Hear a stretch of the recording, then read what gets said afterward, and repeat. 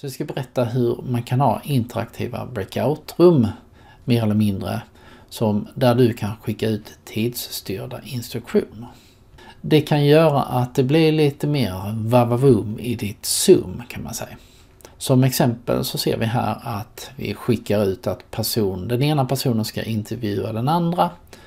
Och sen har man också en timer och man kan lägga till eh, ljud om man vill det.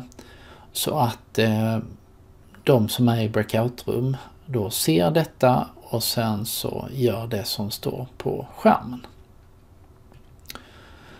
Eh, och sen kan man ju skicka ut nästa bild till exempel att de byter roller. I Zoom när man ska skicka ut en, en PowerPoint med en timer då så behöver man göra först följande. Dels behöver man skapa breakout-rum och man måste se till så att de blir populerade av människor så att människor har gått in och breakout-rummen är igång.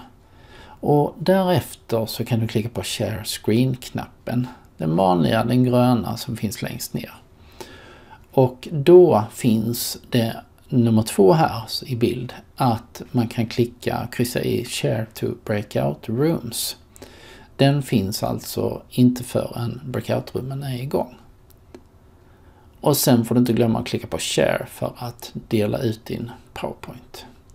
Och när det då är igång så ser alla din, den bild du har framme. Och skulle du byta sida så ser de direkt den förändringen.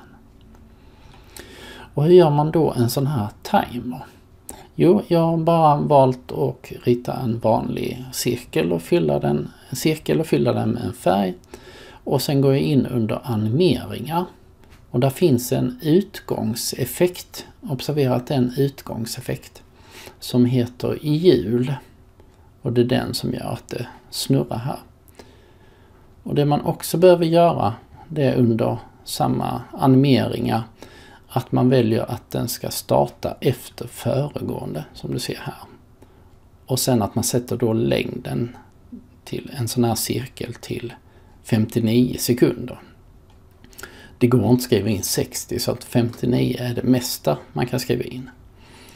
Och när du tar och kopierar en sån här cirkel och klistrar in den igen, då kommer den att starta automatiskt efter att den första tagit slut. På så sätt kan man ju stoppa in flera stycken för att få flera minuter beroende på vad det är man ska göra. Tänk på att eh, det finns två saker med detta. Det ena är ju att du har inte koll på ifall ett samtal tar slut så du bör inte använda dig av för långa timers. Jag rekommenderar en, två eller tre minuter max. Eh, där är det också lite bra att få in feedback efter du har gjort en sån för att kanske justera tiden på de olika momenten till nästa gång. Och en annan sak är att Eh, när du skickar ut din PowerPoint till alla de andra så finns det ingen chans för dem som är i ett breakout-rum att dela någonting med varandra. Så lycka till!